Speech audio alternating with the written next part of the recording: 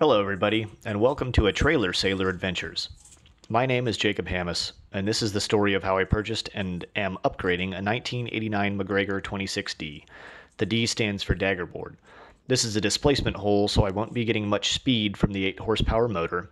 It also is a water ballasted sailboat, which means I can trailer it and tow it wherever I want to launch from. Lucky for me, I live on the Treasure Coast in Florida, where the water is a beautiful shade of blue, the rivers are quite calm, and the sailing is beautiful. I picked up the boat from a man who was interested in sailing and kept the boat at a marina.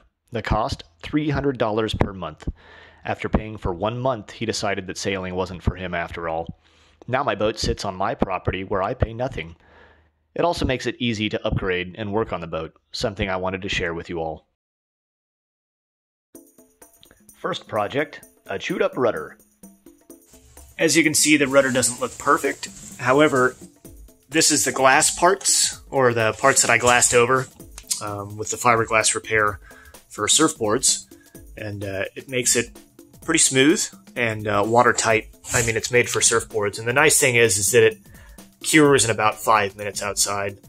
Um, eventually, I'll have to sand this whole thing down and start over, but for now, I'm not interested.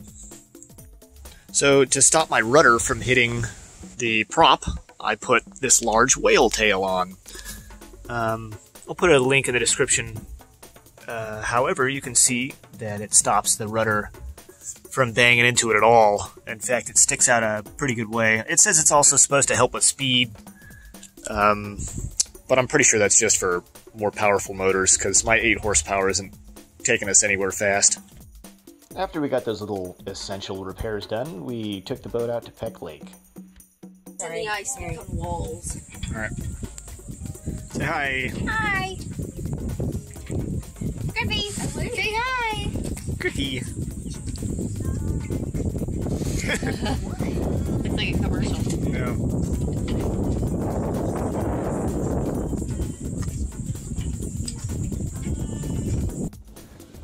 This holiday weekend almost proved to be too much for us.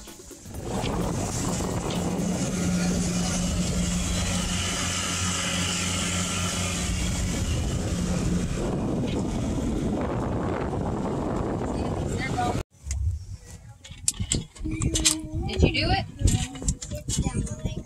Okay.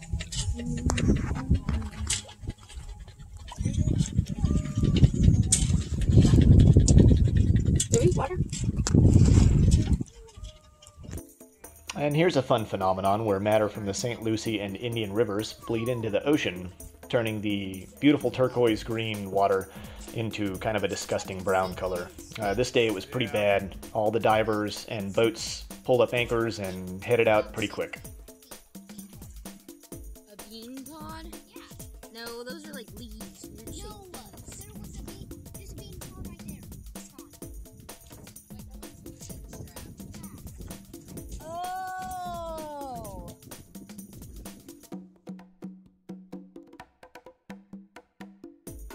All right, one of the issues I have is the lazarette keeps filling up with water, um, most likely because of this and some of this and this.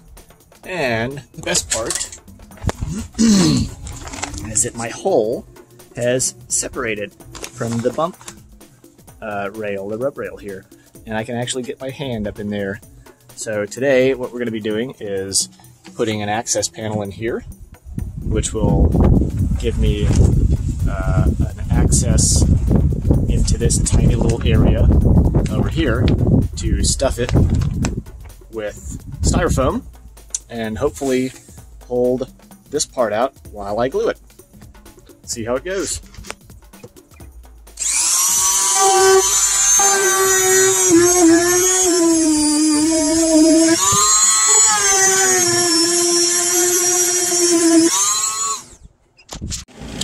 Immediately five minutes later, I have a hole.